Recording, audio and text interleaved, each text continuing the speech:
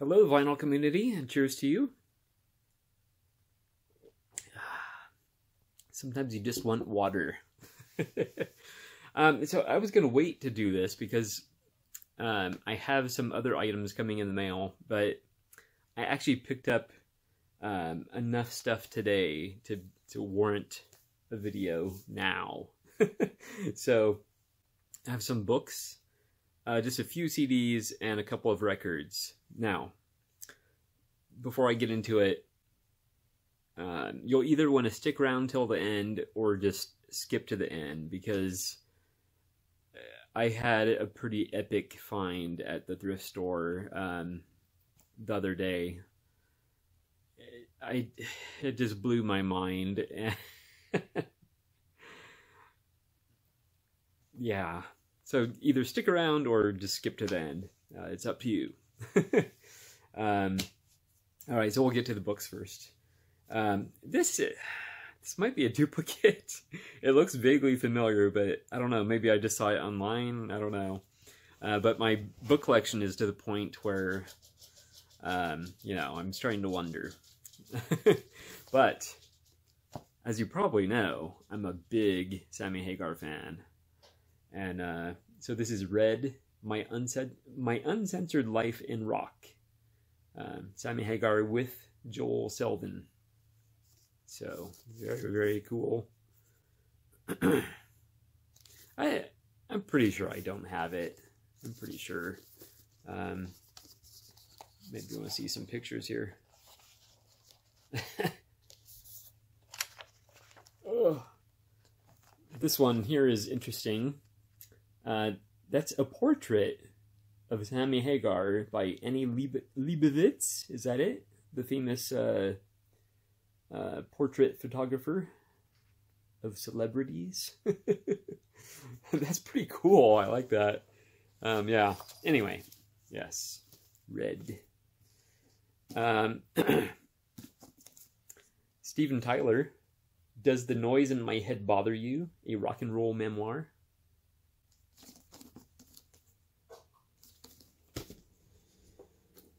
Now we're getting into a couple really interesting ones. Uh, Freddie Mercury by Peter Freestone with David Evans, an intimate memoir by the man who knew him best. So, uh, yeah, very cool find. And this one, um, it it's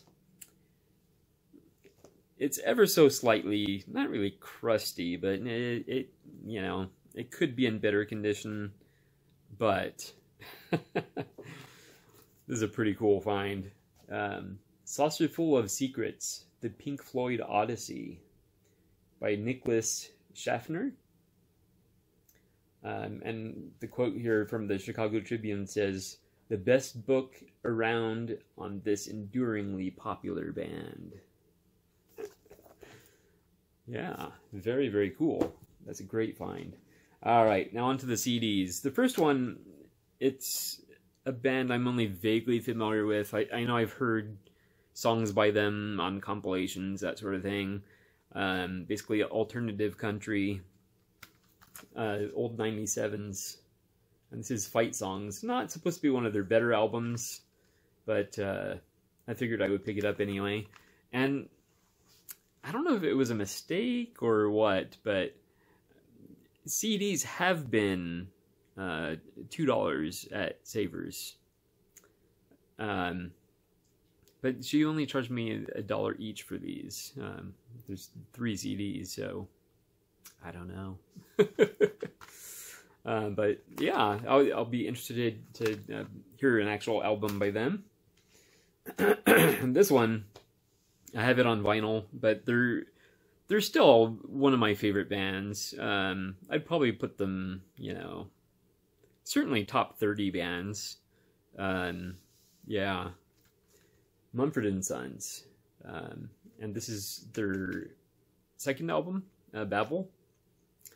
Um, the song Lover of the Light, oh man, so good. But yeah, I, I do have it on vinyl, but it's definitely worth getting on CD as well. So there we go.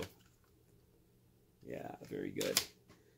And this one, oh my goodness! A shout out to all my Monkees peeps.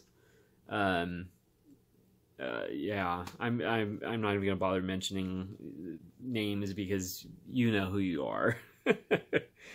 um, yeah. The Monkees present Mickey, David, and Michael.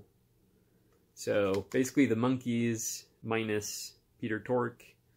Um, I should research that and and uh, find out, you know, what the deal was there. Um, was he working on other projects? Was there a, a temporary falling out? Um, I don't know. Does somebody know? I would like to know. Uh, I was listening to this on the way home in the car. Um, I just got through the first few tracks. Um, and honestly, well, I had heard Little Girl.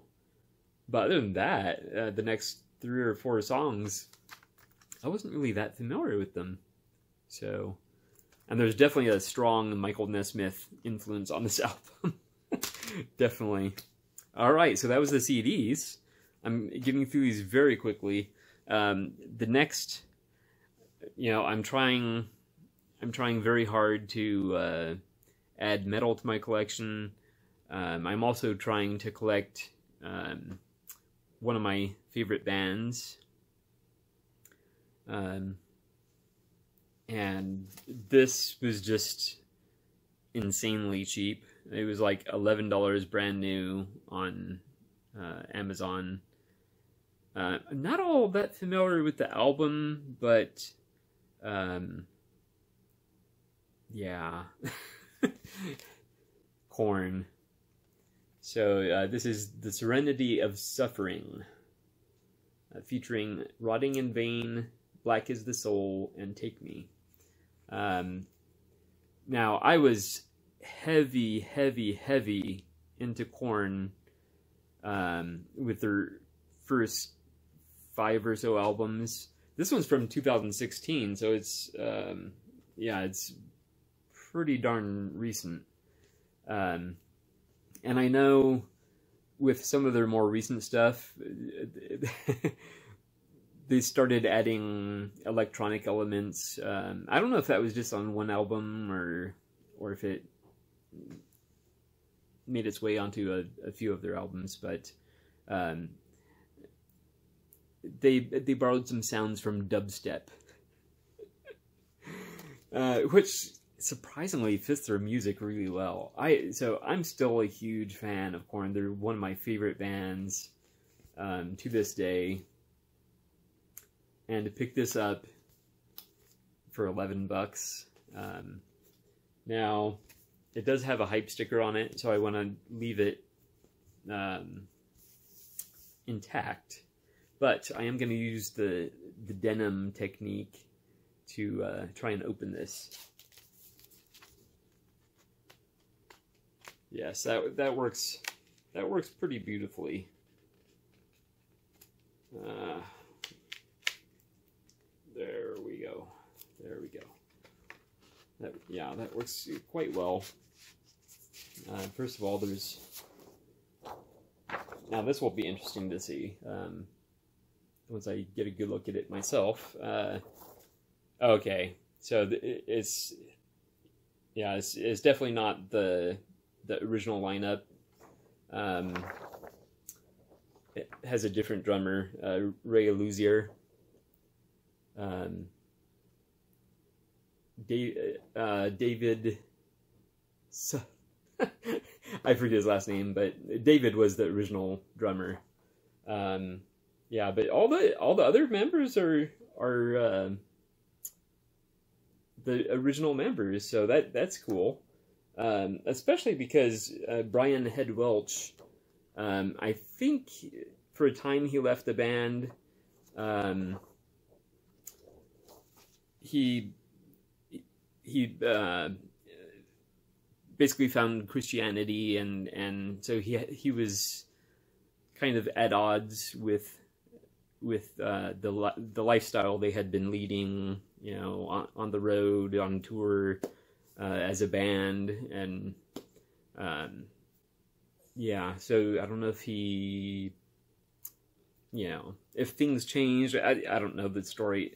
He actually wrote a, he actually wrote a, a book, and I I do want to read it. Um, I'm just hoping it's not like preachy. I mean, I, I you know, I'm I'm a spiritual person, but I I don't like being preached to. uh, anyway. Yes. Uh, so it looks like just black vinyl, and that's fine. That's fine. And we have the the black uh, donut hole sleeve, no liner. Um, it is torn on the bottom there. Has a pretty good tear actually. but that's fine because I'm gonna put it in a different sleeve anyway, so that doesn't matter. Um, yes, very very cool. Thrilled to add this to my collection, and I'll I'll be glad to give it a first listen actually. So a nice cool insert. Will just set aside for now because now we are down to the biggie. yeah, I I could not believe it. Um, I'm I'm certain I gasped. Um, and this is this is uh, a genre of music that I'm I'm dipping my toes into. Um, but this is such such a classic classic album of the genre. Um, yeah. And I found it sealed. Are you ready? Naughty by nature. Now, I don't know. Um, I, I have concerns, first of all, that maybe this is a, a bootleg copy. There's there's no signs for it being a bootleg, but um, I don't know. It, it, it seems uh, too good to be true to find a still sealed copy of Naughty by Nature. Featuring, of course, the huge, huge hit OPP. Um, yeah. Uh, this this actually makes me think of uh, Super Wes. Um, he's he's another person that you wouldn't you wouldn't picture uh, liking hip hop or rap, but he does, and um, he he probably actually likes it more than I do. Um, I'm just you know, as I said, I'm just dipping my toes into it. But my my second fear with this, to get back to that, um, assuming it's not a bootleg, which uh, I, I think it's possible it's not a bootleg. I mean, the printing looks looks you know high quality. Um, everything on it looks legit to me. The, my next concern is it looks like a reseal job. Um, it is sealed but the way it's sealed, you have a you have a seam right there. Um, also, you have the the sort of uh, overlap right there, which would usually signify a reseal, not necessarily, but um, yeah. So uh, I do have concerns. Now, I may never find out because uh, bear in mind, this cost me a dollar. And on Amazon, sealed, on vinyl, this is going for over $50. So, you know, that's pretty tempting. Um, I told myself, all right, I'll preview the album, and if I don't love it, then I'll just sell it. Well, I I kind of like it a lot more than I thought I would. it's really, really good. Um, so I don't know. I'm torn. For now, it's staying closed. It's staying sealed. Um, also, it has this little um, sort of price sticker I assume it's like a handmade price sticker. Uh, it has 998 on it. And, you know, just assuming that maybe it was priced at $9.98. Yeah, but anyway, there you go. Uh, this was my, my big find. Um, I just wish I knew one way or, or the other if this was a legitimate, originally sealed uh, copy of the album or if it's just a reseal. Um, yeah. But nevertheless, for a buck, I can't go wrong. and if I do, if I do sell it, I'll have made a huge profit. Um, of course, I mean, you know, something may be worth, or you may see a price online of something going for $50 or whatever. But the next question is, is someone actually going to buy it for that? so, uh, if I have any offers, let me know. um, yeah. Um, but there you go. I'm, I'm very excited. Some good stuff to show you. I do have more stuff on the way. I did some deep deep digging on Amazon, um, but for now, that's it. And uh, yeah, thank you so much for watching. Cheers, and I will see you next time.